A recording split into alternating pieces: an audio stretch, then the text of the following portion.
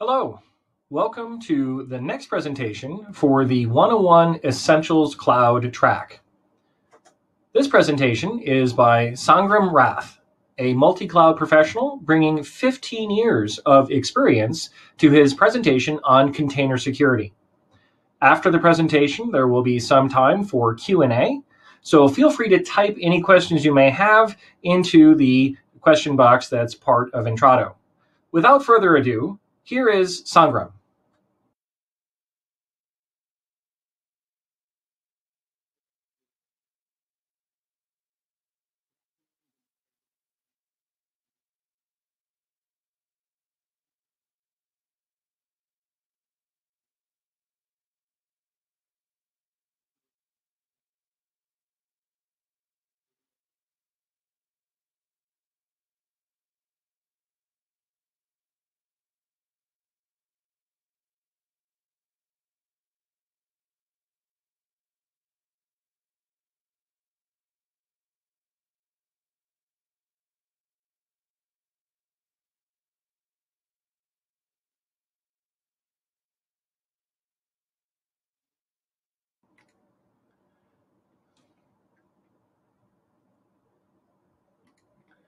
Sangram, we can't hear you, but perhaps we can use the phone bridge instead.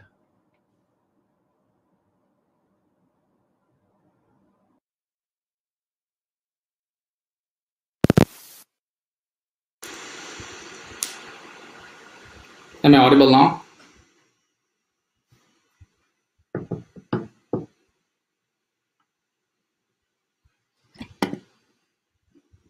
Okay. All right. So hello, everyone, and uh, sorry for the technical glitch. Um, good afternoon, good night, good morning, uh, depending on where you are. And uh, welcome to this track on, uh, container security, security 101.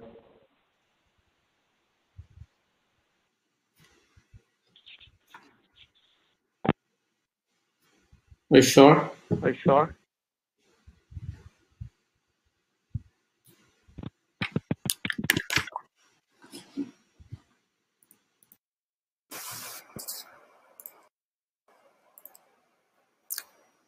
Am I audible now?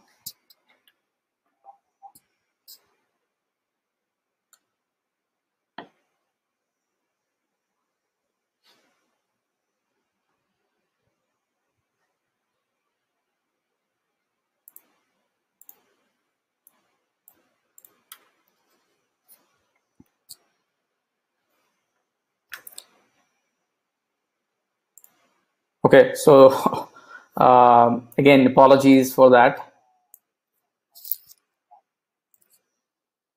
Hello, everyone, and welcome again. Uh, good afternoon, good night, uh, and good morning, uh, depending on where you are. And welcome to this track on Container Security 101. The talk includes uh, some slides and a demo and we will have some time uh, for uh, Q&A post that.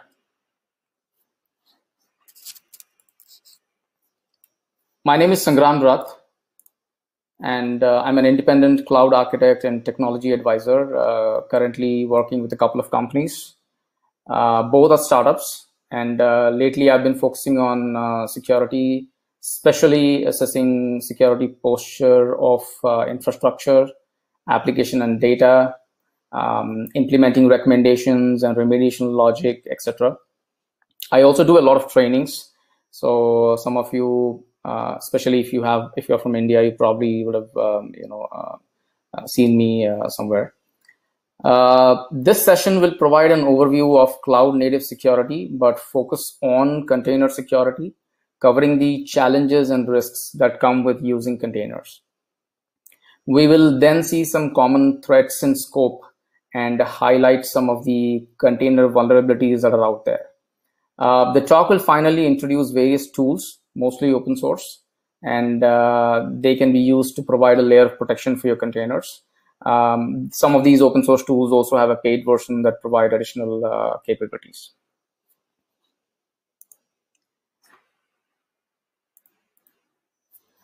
Cloud native computing is the hottest trend in the cloud ecosystem uh, right now and uh, is uh, increasingly becoming the new norm for application development and deployment.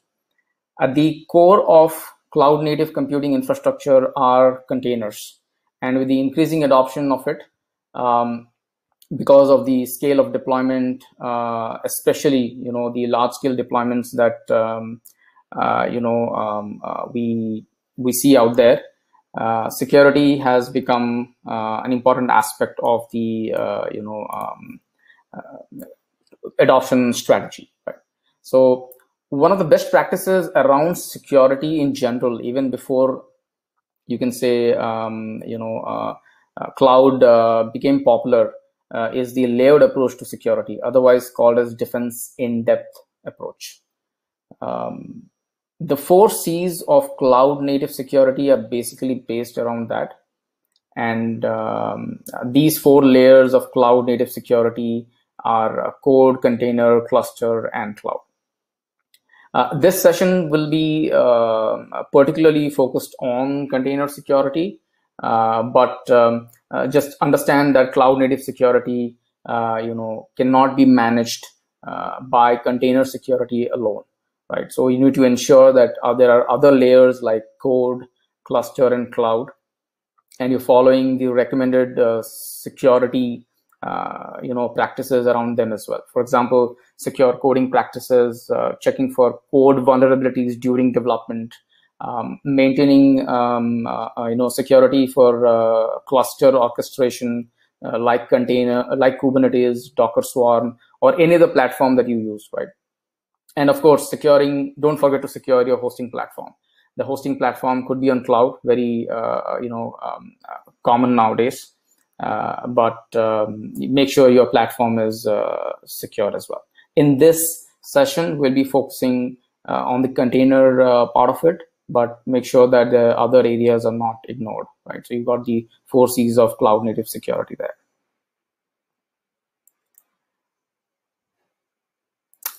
Okay, um, I still hear, I mean, I still see some chat messages on uh, uh, some people uh, not being able to hear me. Um, can, can someone confirm if I'm still audible? just want to make sure that uh, you know it's not a problem from my end all right uh, great so let's move on uh, you know to quickly um, you know um, look into uh, what containers are before we look into container security right uh, especially for those among us that are new to this term and what the container adoption market looks like today why is it that we are looking at um, uh, container security and why is it so important. Um, in this definition from Docker, a container is a standard unit of software that packages of code and all its dependencies. So the application runs quickly and reliably from one computing environment to another, right? The idea of containerization or, um, you know, um, earlier called as process isolation, right, is not new and goes back, um, you can say, a decade or more. Uh, however, the way we use it today, uh, you find it in every application, mobile applications, you find it in IoT devices, you find it everywhere, right? Um, is definitely a game changer. And because of this um, huge adoption of containers in every aspect of technology today, we, um, you know, we, we are looking at security, right? So the problem statement that you're we're trying to solve with containers is the reliable movement of code or software between compute, storage, network, security environments, uh, while at the same time keeping it light, fast, modular, right? So that's the problem statement we're trying to solve. And we do this by packaging the code and its environment, which includes um, dependencies, libraries, binaries, configuration files, uh, into a single unit minus the operating system. That's the key here. So containers involve virtualizing the OS and uh, they're popular. There's a growing community and the enterprise adoption of computers has also spiraled over the years. We'll see some uh, you know numbers here quickly to you know kind of um, uh, you know um, really really prove you that you know that's true right so this report by 451 research which was in 2018 um, states that containers will be a 4.3 billion dollar market by 2022 right? Uh, container adoption is mostly driven by maturity over time uh, growing community which i mentioned a couple of times resources you know the amount of learning resources and implementation resources that are available uh, and uh, many enterprise products that are getting built around these containers as well. And not to forget tech giants and high growth startups uh, you know advocating it which also builds a sense of sense of trust um, and confidence uh, for others in similar industries you know to um, adopt it right. um, got some more numbers here um, let's take a look right this is a similar 2019 report uh, by um, uh, portworx and it shows that container adoption you know uh, continues to grow um, in large enterprises, especially in you know uh, uh, production environments. So here, um, almost 87% of the uh, people getting surveyed said that they are using containers, and of the 87%, you have uh, almost 90% people saying they are running container technologies in production. Right, uh, and not to you know while we are at it, not to you know forget a uh, survey by CNCF as well that shows that containers, uh, you know, um, uh, container use in production has has increased significantly, and uh, you had almost 84% of the people responding to the survey mentioning that they are using containers in production, and this is up roughly 15% from 2018, and um, you know. Um, this is a result of organizations having trust in containers and uh, using them more for uh, you know uh, production workloads user facing applications customer facing applications and uh, you know um, yeah i mean th- there has been uh, absolutely a growth in you know um, container adoption of lately. At least ever since you know you you had docker coming in and making you know container as uh, much more easier to use i, I would say that right? Um, now, on the same lines, when we talk about uh, growing adoption of containers, right, particularly technologies such as Docker, Kubernetes, OpenShift, um, this is great, and its benefits like faster deployment, uh, scalability, portability has fueled the growth of cloud native technologies. But this also means that security, management, and monitoring, these three areas uh, continue to be an area of concern for many of these uh, large enterprises, especially people running containers in production. Again, looking at a few surveys, uh, you know, not really a lot, but just a couple of them, you will see that container adoption is not without its challenges. And this survey by, again, Portworx, uh, along with Aqua Security, uh, on over 500 IT professionals, you know, shows that security is uh, at 51% is the you know is, is a top challenge for them.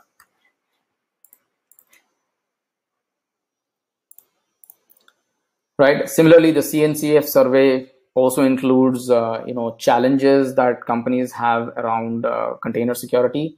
And you will find that security um, uh, i mean challenges around container adoption. I'm sorry but and you'll find that security is on the list and monitoring is also on the list on on, on fifth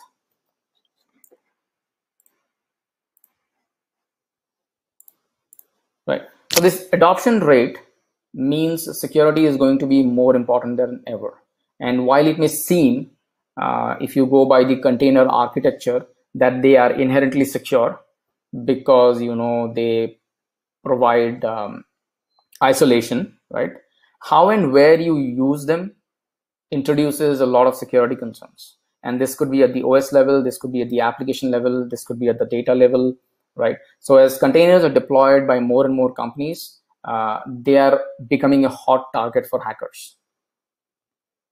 And uh, some may say that container security may not be that much of a concern at the moment because maybe they feel they're running it in a private environment or they, uh, you know, they feel that their current security is enough um, but uh, trust me, you know, there's an increase in the um, uh, number of threats and vulnerabilities that we have around containers today, and um, uh, more and more bad exploiters will uh, continue to focus on targeting containers. Uh, you know, create container-focused exploits, and uh, you know, we we have to look at security very seriously. So it's a growing priority in container adoption, and if you do it well, uh, it can help you react to security issues faster as well.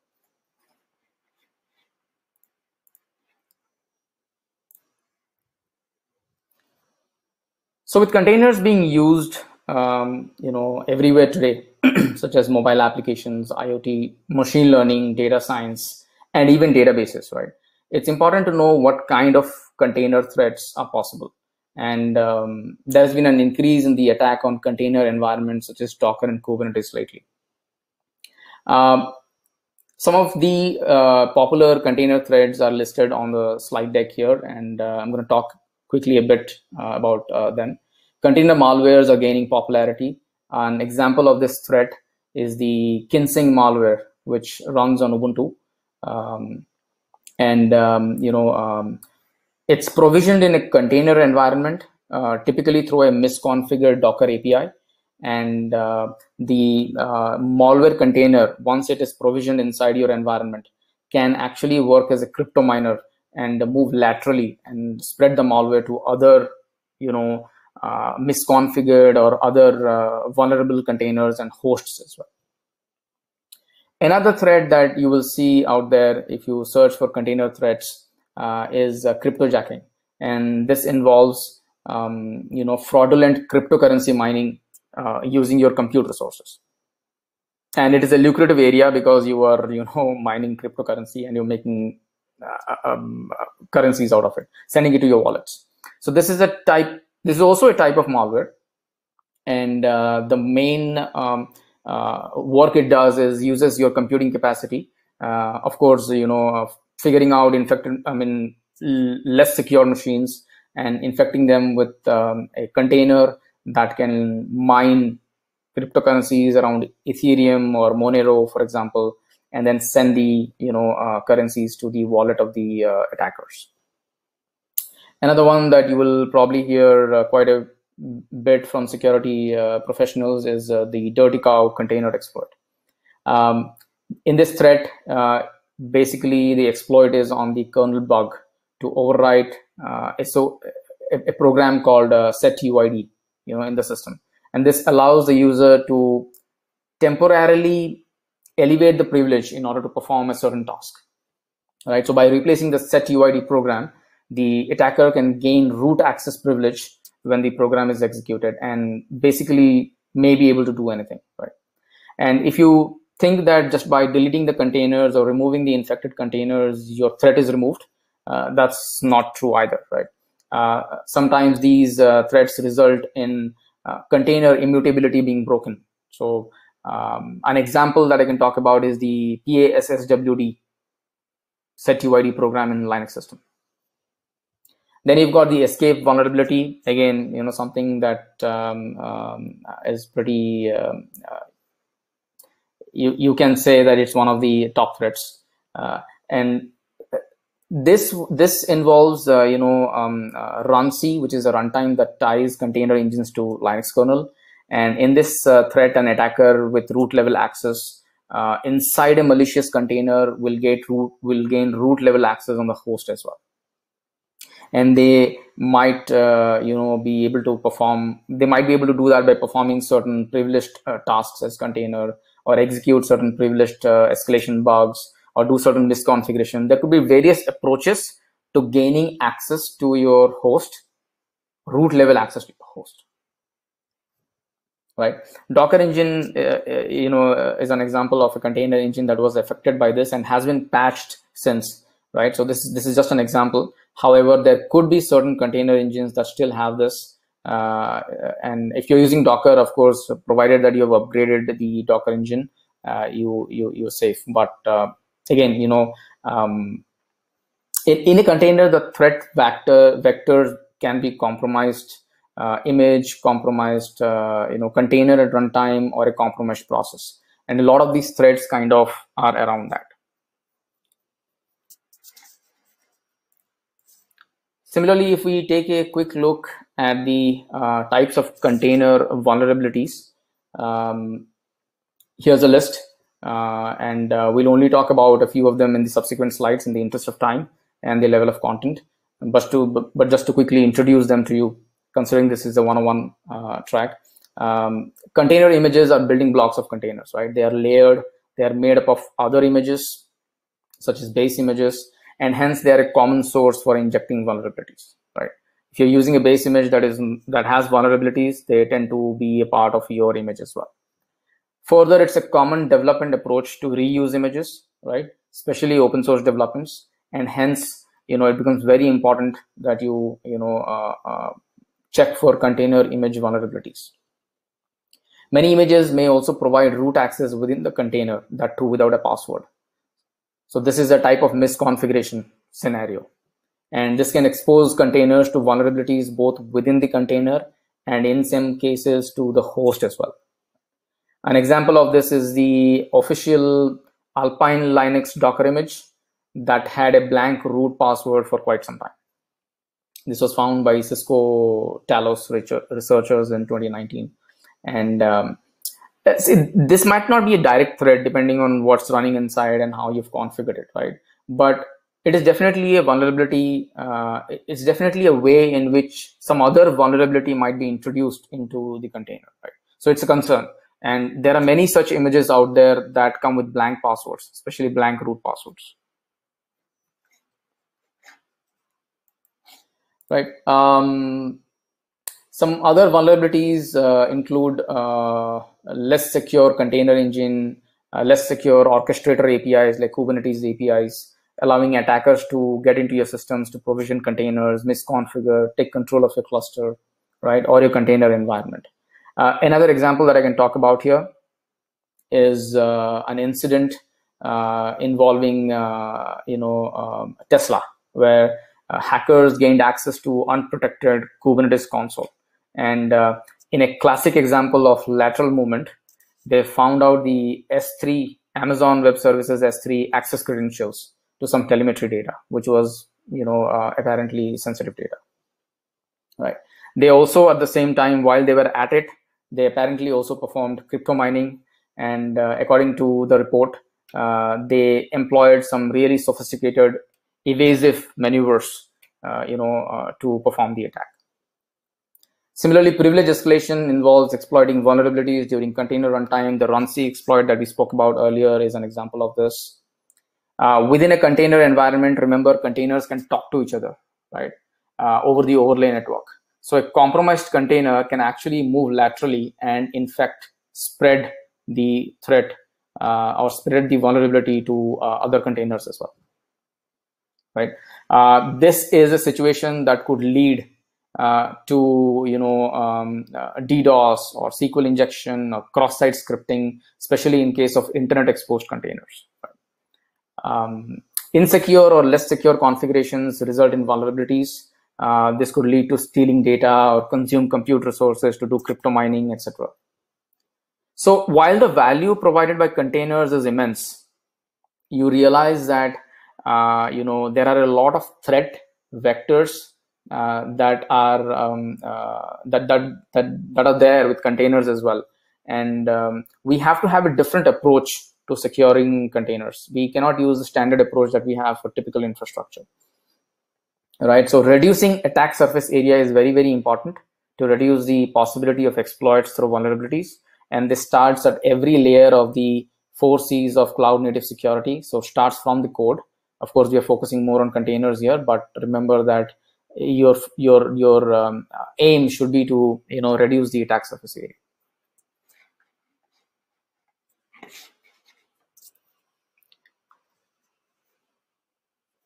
right? Some examples of uh, common container vulnerabilities.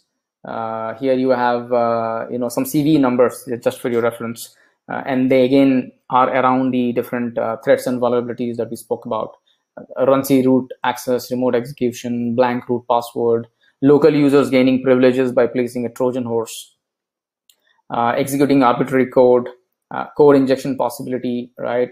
Attack vulnerability resulting in a read-write access to the host file system with root privileges, These are some uh, you know common container vulnerabilities. Some are old, some have a very high threat number in the CVE database. Um, while you might be already following certain best practices, and many of these container vulnerabilities might not uh, really apply to you, uh, just make sure that you are aware of all of these and you are implementing them and following their recommended security uh, best practices. Within the container security challenges, if we want to just focus on container security challenges, right? Uh, again, taking a look at a look at a survey, I want to uh, point out two things here. One is vulnerability management, and the second is runtime protection. And when we talk about vulnerability management, we're talking about container image vulnerability, right? So these are the top security challenges. This is again a survey by Portworx and Aqua Security and um, you know uh, we we have those um, we have the survey revealing that vulnerability management and runtime protection is in the top three security challenges that are um, uh, that that come with using containers.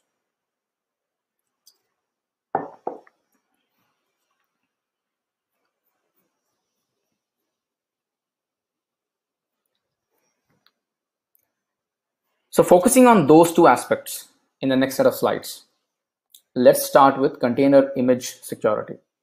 One of the most important components and, uh, you know, um, or you can say elements in container security is securing the container images. And because container images are commonly available, they are uh, very popular in reuse, uh, re so they focus on reusability and, uh, you know, um, many popular open source Linux distributions are used as a base for these container images. They are a um, uh, they, they, they are an important vector that brings in uh, you know vulnerabilities into your uh, application vulnerabilities into your system. They may result in you using vulnerable system libraries vulnerable base images and all of that. So a few questions you should be asking yourself in this step in in securing container images are are your container images free from vulnerabilities Right. so what, what do you do? You start by using latest images. You run container image vulnerability scans. And this should include base images. Prefer certified images published by the vendor itself, right? Do not pull images without validating authenticity. Do not pull unsigned, you know, uh, Docker images or container images in general. Fix vulnerabilities before using them in production. Let's say you have to use a base image and there are some vulnerabilities it's your responsibility to fix them before you actually run your code in production. So this should be a part of your entire container lifecycle process. Do you trust these images, right? So this is where signing the images and verifying that the images, uh, you know, are signed by a trusted, uh, you know, a publisher is important. Use signed images, preferably pushed by the publisher, and look at the history to see if it has been modified. So that brings me to my next question. Is your image repository or registry secure? Compromising registries is also a very popular um, you know, threat. People gain access uh, to your registry and they might be able to change the images or modify the images and add vulnerabilities to it. So make sure that your um, uh, that you secure your registry with uh, username, password, use TLS, uh, use private registry wherever possible, right? Uh, these are some things that you can do to ensure that your image repository, your registry is secure. Are you following the least privileged access model? Very important. A container is usually executed as a root user if you don't provide a user value while creating the Docker image. And this could lead to a security issue. So if you really want your container to run as a root user, make sure that you know that's actually required. You don't always need a container to run in a uh, you know um, a root user mode right? When that namespace is mapped to the root user in the running container the container could potentially uh, result provided there are some misconfigurations or some other vulnerabilities it could result in you know uh, providing root access to the docker host as well or to the container host as well right? So don't use a root user unless you really have to so these are some questions we ask ourselves, especially you know while we are uh, talking about when you're thinking about container image security. again, uh, a quick report by you know um, uh, a company called uh, Snyk. I'm sorry about the typo there. Um, the company provides uh, you know uh, fixing and monitoring vulnerabilities, detecting and all of that. And uh, according to them, uh, the top 10 most popular Docker images contain at least 30 vulnerabilities. Similarly, there are posts and I would like to quote a post here by Kenna Security, which is also a company that secure that focuses on data science, uh, you know, to measure and, and predict cyber risk and all of that. And they state that 20% of the 1,000 most popular Docker containers have no root password. Of course, these are slightly older, you know, uh, you know, uh, uh surveys, but uh, I, I want to, you know, stress on the importance of these things, right? uh, and and that's why these numbers and and these numbers are alarming if you have 20% of the you know 1000 most popular docker images having no root password you can understand that there is always and if you have just used them as it is you you you you have a threat vector there right so it shows that security is not to be taken lightly and uh, you got to watch out for these kind of things um, again make sure that uh, there might be certain use cases for running containers with root privileges, but don't do it unless you really have to.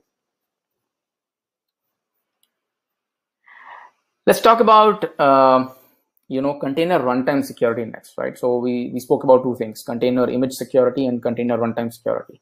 They broadly cover almost every security threat or vulnerabilities that we you know took some examples earlier.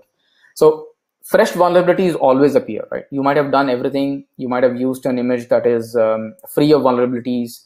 You might have done everything at the code level to ensure that your image is, um, you know, uh, as per the security recommendations. You followed all the best practices and all of that.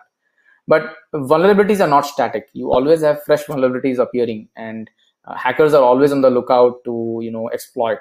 And uh, while we may have taken every possible step to ensure our containers are created uh, securely, and uh, you know there is always uh, you know a new vulnerability or threat that could come up and uh, this is where um, making sure that your container runtime security is also addressed is important so that you um, have a better chance of remediating any exploitation that might um, arise uh, you know during container runtime. So some of the things that you should be looking at uh, at this um, uh, at this level you know and again this is not a very uh, you know fixed list. Uh, just some of the things that um, you know out of my experience uh, i feel should be highlighted here. So this is a list that includes but it is not limited to right? Knowing your application behavior very very important. Today's applications are modular. Today's applications are decoupled highly decoupled. You have you know serverless and whatnot in today's applications and uh, it's very important to understand um, you know what your application does. If your application is only supposed to make let's say a get call to another component you you need to monitor that and any deviation from only the get call should be detected because that could mean that there might be some security issue during the runtime right so knowing your standard application behavior right um, standardizing it and then detecting any deviations through monitoring is an important uh, step here, right? So monitoring plays a key role in uh, container runtime security. Secure your container API access, very important. Orchestrator APIs, container APIs, or today service mesh is very popular. So even service mesh APIs should be secured, right? Um, because of the complex nature of orchestrators and service mesh, especially, they bring in additional complexity and introduce uh, new attack vectors that might not be there when you just talk about running uh, Docker containers. Right, so monitor and secure them. Um, follow best practices, secure container engine platforms as well. Uh, for example, disable capabilities like uh, you know set UID to prevent processes from changing their uh, GID, resulting in escalation privilege. Right, use a separate user instead of a privileged user for Docker commands. Um, use C groups, use namespaces. Um, they also help in avoiding privileged attacks. They are actually a core part of you know container uh, runtime uh, uh, products like Docker. Secure your communication between client and server using TLS. don't forget network security. It's very important. Um, as I mentioned earlier uh, in the talk, uh, containers can actually talk to each other by default over the overlay network. So if you don't want certain containers to talk to each other, use network namespace, use network security policies, right? Uh, they are available in many orchestrator platforms like Kubernetes. Uh, you may also force network traffic through an IDS IPS system for added security, right? So do these things to ensure network within your container platform is uh, secure as well. You don't have containers just talking to each other for no apparent reason because today's uh, you know hackers and attackers actually look at lateral movement as one of the you know approaches so if they find one vulnerable container and if that container can talk to other containers in your network that's a very easy you know uh, that's an easy thing for them they can leverage the power uh, you know and, and infect all the containers and use it for their uh, whatever purpose crypto mining crypto jacking uh, you know accessing some of your secret uh, uh, information that could be inside the containers, databases, whatever you know your architecture is made up of. There could be they, might get access to something that you probably would not even have thought of, or just use your compute resources for their computing needs. On that point, I would also like to mention that do not put uh, sensitive uh, information like usernames, passwords, tokens, uh, or any similar things, configuration information into your containers as well uh, use solutions that can help you retrieve these details programmatically on runtime and encrypt them uh, during transit as well. So you have solutions like Vault uh, from HashiCorp that can be leveraged to dynamically retrieve these uh, secure information, certificates, keys, SSH uh, keys, username, password, and all of that, right? There are similarly other solutions out there as well. Use a multi-stage build and create runtime container images that have a smaller footprint. So you will actually end up you know reducing your attack uh, surface area as well have only the required modules and dependencies if you can use container specific operating systems such as CoreOS, uh, you know, uh, Red Hat Atomic, Rancher OS, there are many out there that can help you, uh, you know, um, help you implement a container host solution that has a lower footprint. Uh, lower the footprint, lower administration, better security, uh, lower uh, you know uh, attack surface area, less number of attack vectors to you know address, and so on. Keep your host OS up to date. Apply latest security patches, all of that. Unauthorized access should be prevented. Use solutions, and these solutions are inbuilt in Linux. Uh, you know, so you can use SELinux. Uh, or some containers and orchestrator uh, solutions provide their own security policies or profiling, security profiling as we call it. Use them right? Uh, they don't cost. They're part of the mo of most of these products actually today. AppArmor is another example of a solution that can be used to prevent unauthorized access to uh, containers. So container runtime security could involve a lot of things. It all depends on what your container does. But these are some top things that come to my mind when we talk about container runtime security.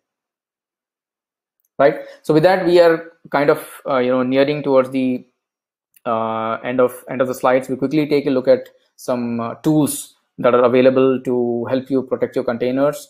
Uh, most of these are open source tools, or at least they have an open source or a free version that you can leverage. Uh, of course, for added capabilities, uh, you might want to you might have to buy subscriptions or something like that. But I would like to make a point here: security is not cheap and uh, shouldn't be looked at it that way as well. so uh, there might be sometimes uh, a cost to implementing these uh, security solutions and the more complex your application architecture is and if you require that kind of security at every layer yes this adds up to cost but um, considering today's um, threat scenario around technology and considering everything is driven by technology today uh, especially if you are using containers uh, it makes sense uh, that you invest in them if it comes comes to it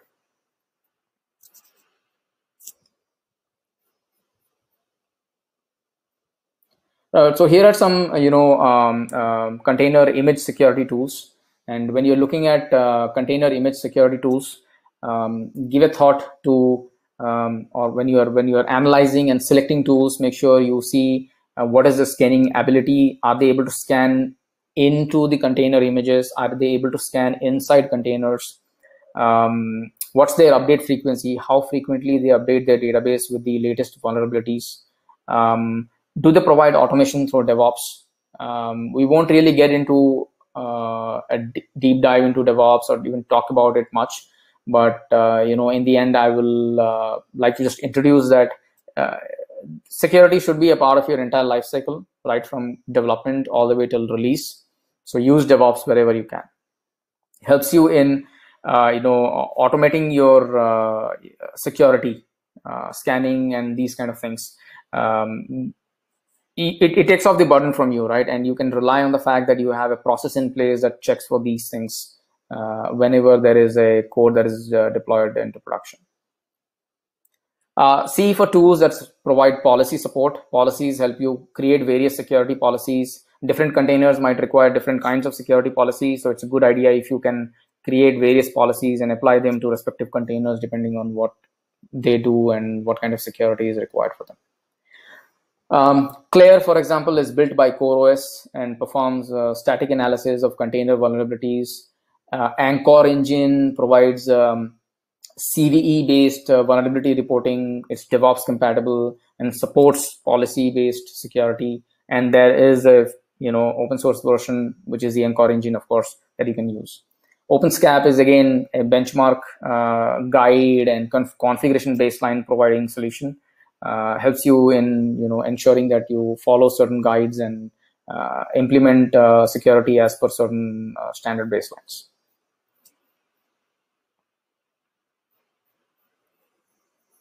Similarly, around container runtime security, um, things that you should be looking at, one very important is real-time monitoring. Right. Although there are inbuilt protection mechanisms like control groups and namespace capabilities in container engines like Docker, like we discussed earlier. Uh, if you are looking at a tool for container runtime security, look at real-time monitoring capability, access control capability, look at networking uh, monitoring capabilities. Uh, do they provide forensics, which might be important for you to do root cause analysis in some cases? Uh, do they provide compliance and audit? A lot of the companies that I work with, they need tools and, that provide compliance and auditing because they eventually let's say you know build products that are around uh, PCI DSS or HIPAA or uh, you know maybe conforming to GDPR regulations, whatever the need may be. You know sometimes they want these tools to provide some sort of a compliance and audit report as well. So Sysdig is an example that provides uh, deep system level capturing and real-time analysis capabilities. And Falco is also an open source cloud native runtime security project by uh, Sysdig, uh, which uh, kind of is the de facto uh, threat uh, engine uh, you will find on Kubernetes, right? So these are some tools that you can look at. There are many out there. I have just picked out some of them that are very popular out there. Again, depending on you know uh, my uh, uh, you know work, you might have worked with other tools, and of course, whatever the tool is, just make sure that you look at some of these things and select a tool that works out best for for your needs. Some other container security tools. Uh, you've got Docker Bench for security, very good for auditing Docker containers against uh, security benchmarks, right? Then you've got the Docker Content Trust, which we use for image signing. You enable this and you will not be able to download unsigned images. Uh, you've got um, uh, Cilium, Calico that are around network security. Uh, they both provide network security policies, by the way, which can help you isolate containers uh, and and enforce networking policies for a group of containers normally you know a pod or something like that. Then you've got notary which is for image signing and separation of roles. Uh, you know uh, that's also you know an interesting tool that can be uh, used. Um, uh, many of these are you know in fact all of these are have some sort of a free or open source version available. So you are good to start with some of these at least initially and doesn't cost you a dime to you know uh, look at the security posture of your uh, container engine both at runtime as well as container uh, image security. Right? So with this um, i'm at the point where uh, i'll quickly you know show you a couple of these tools in action. Um, I've, I've, got a you know um, uh, environment up a couple of environments up uh, just to you know save time and and and uh, ensure that we're quickly able to see how these tools uh, say give you reports and give you vulnerability uh, reports and all of that. So we'll take a look at Docker Bench for security for auditing Docker containers. We will also take a look at uh, a demo on how to use uh, Anchore engine and uh, maybe, you know, uh, uh, if time permits, look at a couple of more uh, demos and pretty close. And then just, just, just one more slide to end the, and then I'll be happy to take any questions you might have. All right. Um, getting some messages in the chat about some of you not being able to hear me. Um, I uh, again, it'll be great if someone else from the you know uh, from the group can quickly you know confirm if that's the case, or maybe you can hear me, just quickly you know let me know. Uh, I hope I'm still audible to uh, the majority of the uh, audience here.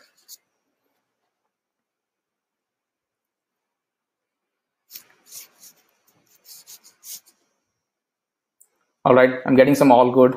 So looks like, you know, uh, I, I, will just, I'll move on to the demo here. Uh, we'll be sharing my screen here in a second.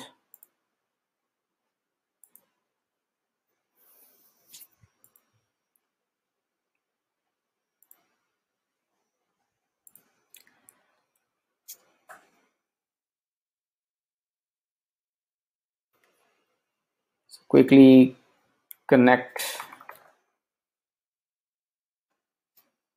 some of these sessions here.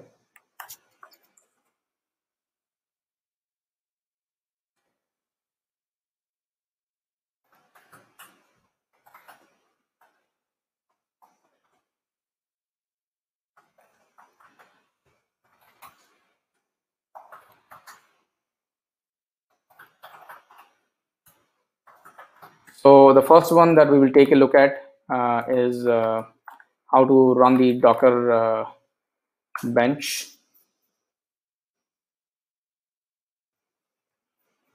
So I have a machine here that I'm connected to. This is a Docker uh, Swarm cluster.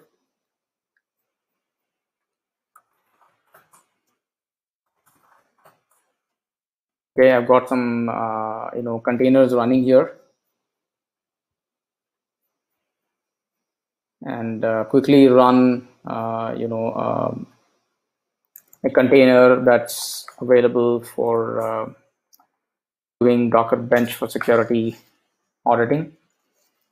These commands are easily available to you. I just want to quickly show how uh, you know you can do some things without any cost and look at your security posture, right?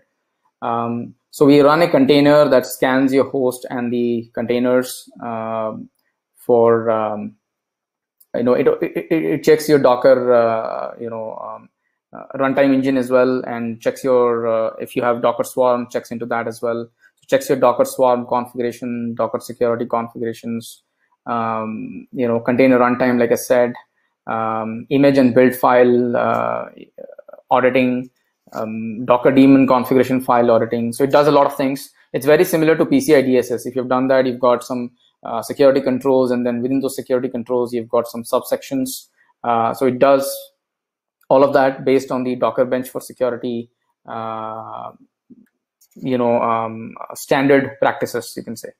Uh, so this is a quick um, run of the Docker bench for security. This is version 134, and it checks for a lot of common best practices around deploying Docker containers in production.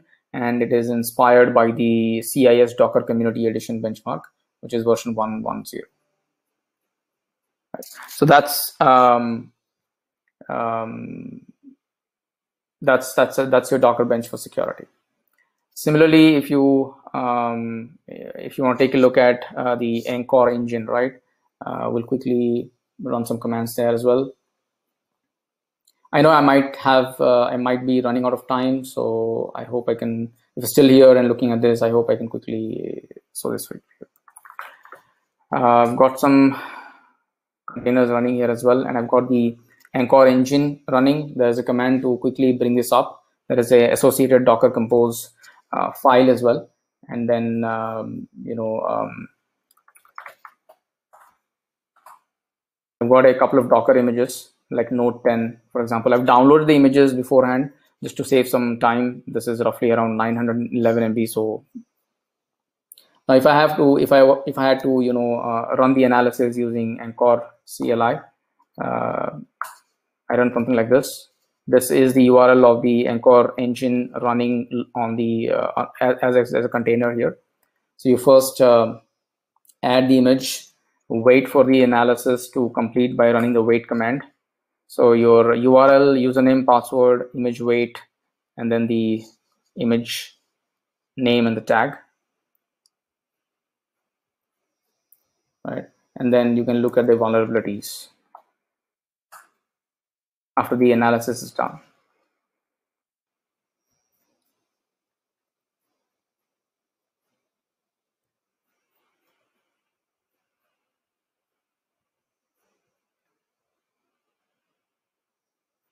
So the command here is image vuln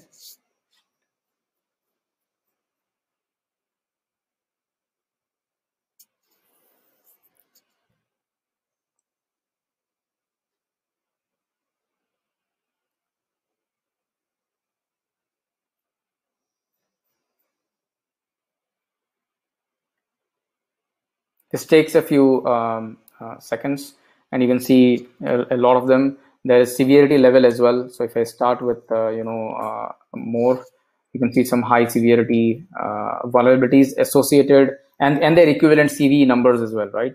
Uh, so you get all the details uh, when you do the analysis through Anchore engine.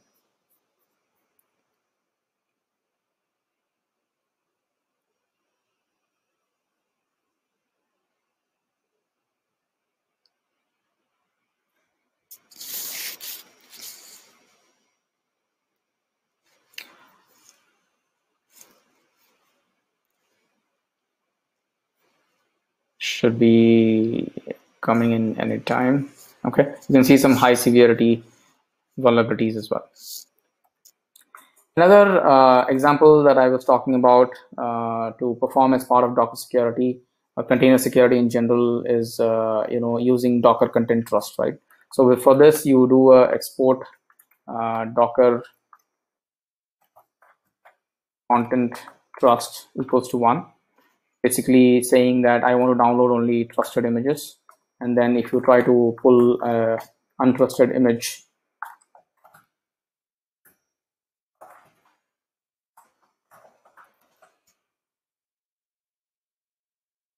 it says that the remote trust data does not exist for that container image, right? So you can either disable content trust and download it if you really have to, or you can just, uh, you will only be able to download images that are, um, you know, trusted.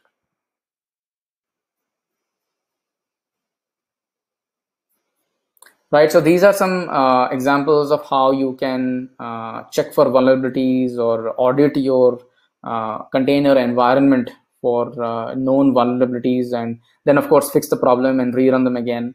Uh, follow certain recommended best practices uh, using docker bench for security um, as, as part of your container adoption in your enterprises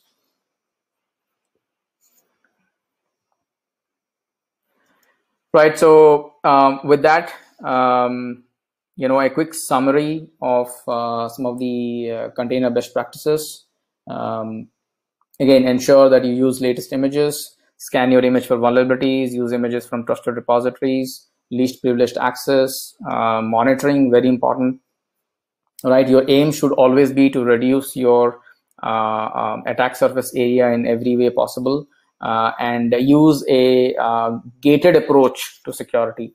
The more layers you have when it comes to security, uh, you you have some time before you can actually uh, before the attackers can actually get to your data, right? So uh, more number of gates or defense in depth approach or layered security approach uh, helps a lot, especially when you are attacked, right? so please make sure you try and implement some of these a lot of these can be also experimented using sandbox environment so please play around with it. And i want to end by you know um, introducing uh, you know two terms or two two def- two words you can say. Uh, one is container security must be embedded into your container lifecycle i have been saying this a few times and should not be an afterthought.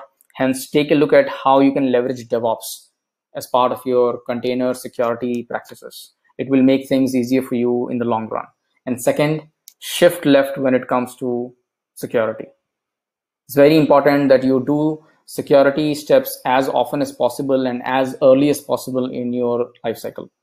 The sooner you do, the less you will have, uh, the less threats or the less less less problems you will have later on in your cycle, right? So um, uh, thank you for your time, and uh, if there are any questions, I'll be happy to take them. I'll quickly take a look at the chat window and see if there are any questions, and then read out and uh, address uh, some of them.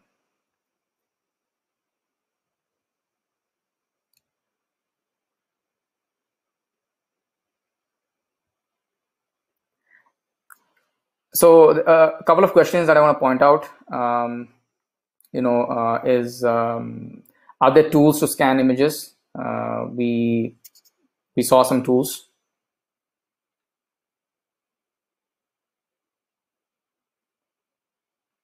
Right. Um, saw some examples of tools.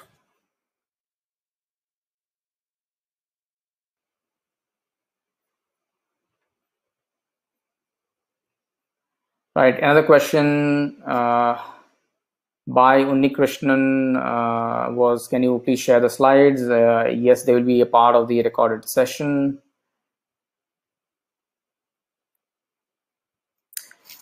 Saravanan had a question, isn't some of the threats addressed by SELinux? Yes, hardening on the host level. Uh, remember, we had the four levels of security, and one of the levels was, uh, you know, cloud security and basically your host security comes at that level so any host that you're using to run uh, orchestration platforms or just standalone container engines yes we follow the hardening approach uh, and se linux is definitely something that um, can help you address some of those issues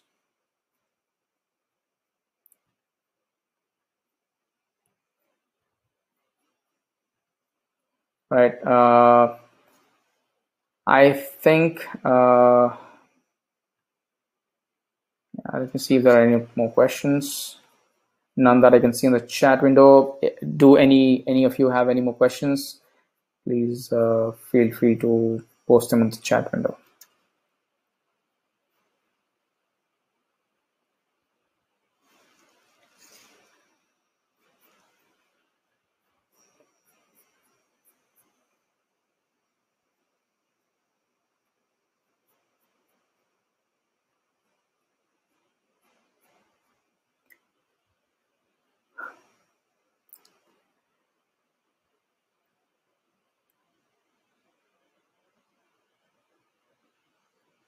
I oh I'm I, I, saw this message now. Yes, I ran some commands to uh, run the Docker bench for security. Uh, some questions by Sven Troy uh, saying you were not able to see anything on the console, but uh, you know, um, sorry about that if you missed them out. I I I felt my screen was being shared, so yeah again there might have been some uh, you know um, um, there might have been some uh, latency when it comes to uh, the refreshing so you might have seen them later. So again uh, just to address some of these concerns here latency between my slides and the uh, demo. Maybe the demo is still running for some of you is it good to have production containers in virtual machines, right? Uh, Anders had had this question. Yes, in fact, using containers in virtual machines and not running them directly on host actually gives you an added layer of security. So yes, it is good to have production containers in virtual machines.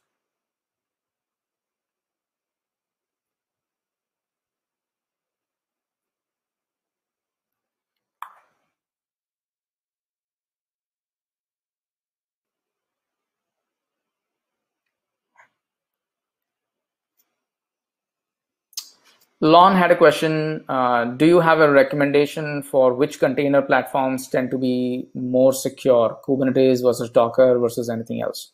Well, I've had I've had experience working with Kubernetes and a bit on CoreOS, uh, and uh, eh, some years back with the Mesos uh, as well platform as well. Um, when you talk about maturity and when you talk about the number of tools available and the compatibility and the amount of uh, you know uh, support and you know ease of integration, you'll find that Kubernetes uh, stands out.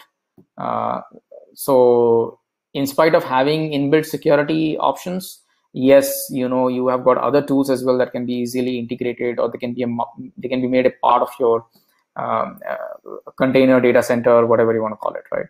Uh, having said this, that's my experience. Uh, some people might have a different opinion around it, but yes, the I, I would say securing pods and all are relatively much simpler and easier, and you have a lot of resources around that. Can you point us to a collection of links regarding best practices and tools? Uh, don't have it right now bookmarked but um, I've got one link for from Docker that I can quickly share. So I'm going to put it on the answer here. And there's another in another one as well, which I bookmarked from Docker. I'm going to share that.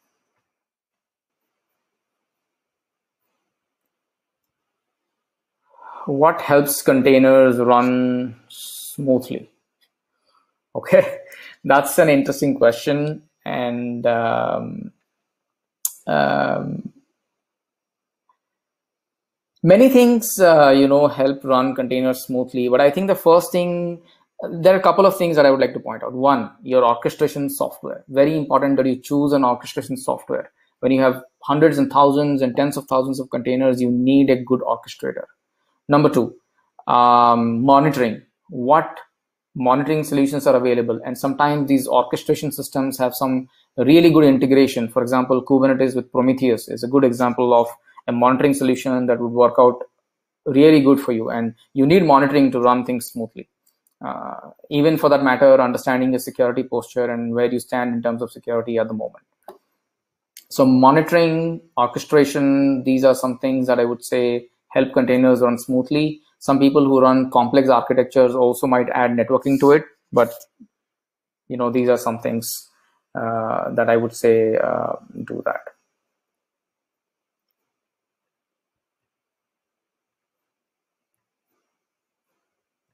Right. Um, uh, Raimar had a question. Uh, you know, it seems that I will end up micromanaging many of these containers, especially the list of CVEs is as long as we have seen. Any advice on practical approach of fixing all these vulnerabilities? Uh, the one of the things that I do is I use um, uh, latest images, and I have given I've deliberately used some older images to show you vulnerabilities. Uh, so use latest images and use minimal images. You know, start something very minimal and add your own layers. And of course you know when you make the final image remove anything else that is not required during the process of so use a multi-stage build process. But you but use latest images and make sure that your application security and data security is well taken care of. So even if sometimes you have certain vulnerabilities that get introduced see vulnerabilities will come in and and you know even if you have taken an image that has zero vulnerabilities there is no guarantee that these will not appear again in the future. So there might be new vulnerabilities. But if you've designed your application and data to be secure enough and the communication between them and application secrets and data encryption in transit at rest and all of those, you will have a better uh, protection, especially when it comes to data breach and you know protecting your data and applications. Um, right, but uh, security is something that you you cannot say that you fixed it. You know there's always something new around security. Okay moving on to some more questions. Um,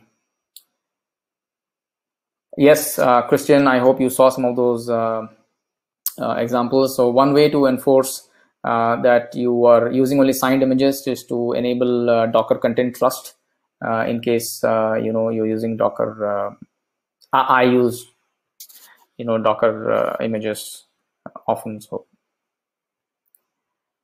or it's a private registry and you uh, uh, use, um, for example, notary to sign your images, right? So,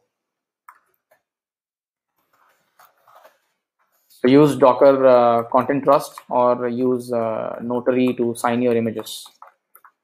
And that will be your way to enforce.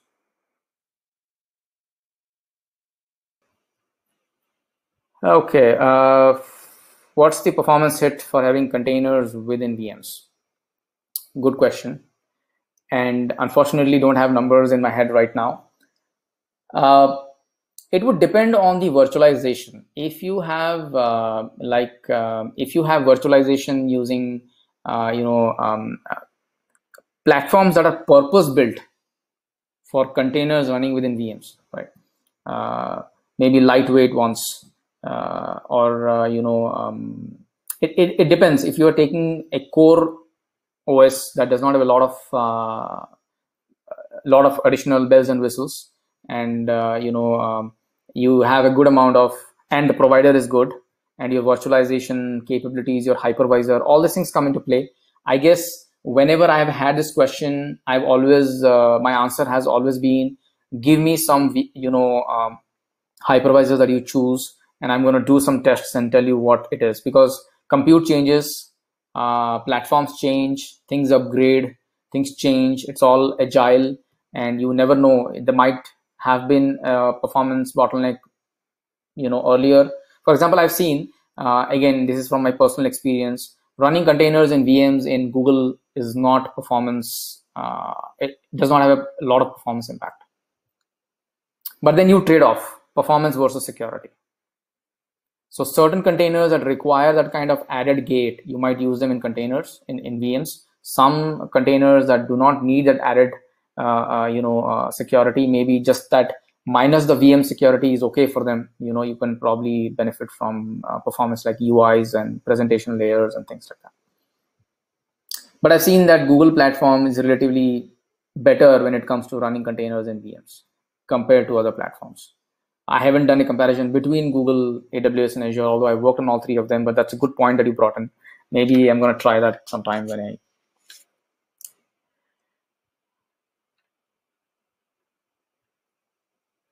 Right. So moving on to the next question. Uh, looks like I still have some time.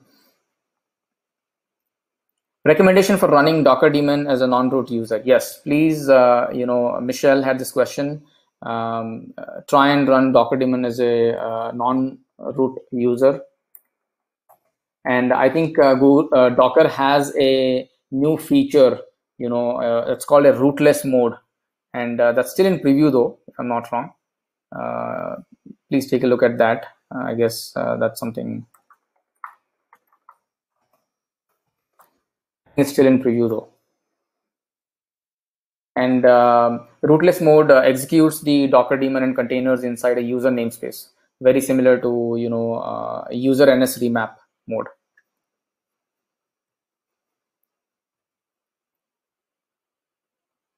Yes why not? And anders has a question. Can you use tools like puppet to keep the container update? Of course. You know use devops approaches. And uh, you can have puppet uh, scripts that are written uh, that regularly you know map or uh, benchmark against a database or something like that.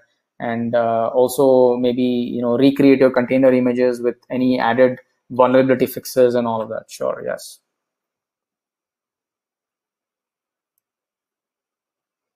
In fact like i said you know i ended up mentioning that use devops as your approach. You you cannot just remember everything and ensure that security has been checked. Uh, it's very difficult to do that